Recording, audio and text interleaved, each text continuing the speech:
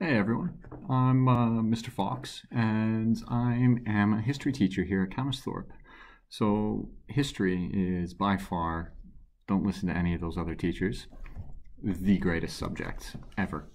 Um, not only does it really teach you about the future, uh, you can you can predict it. Uh, you, you, basically become a god. Uh, but at the same time, uh, it shows you how to argue and argue uh, different points. Uh, it could be arguing how maybe you we should have McDonald's for dinner, or maybe something more serious and arguing about um, a specific event in the past and how significant it was for something.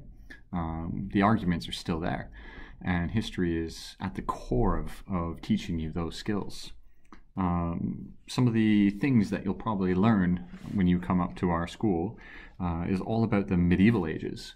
So we'll start at 1066 with uh, Normans coming over, and we're going to see how much they actually change. That'll be one of the first arguments we'll have. See, you know, was there change? Was there a lot of change or a little bit? Don't know. You'll find out. You'll find out next year. Um, but we'll move all the way through that and we'll learn about all the different, you know, kings that were here, the different battles that happened.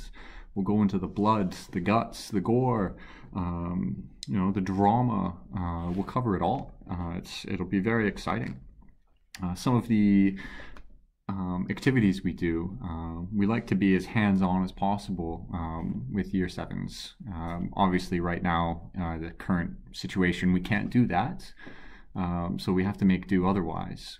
But once all this situation's done, you can you can definitely expect to have some fun uh, in the history lesson. Lots of moving around. Um, we'll create human timelines, um, create uh, our own castles. Um, just lots of lots of little things like that. Um, even like different houses throughout the the ages. So it'll be it'll be lots of fun.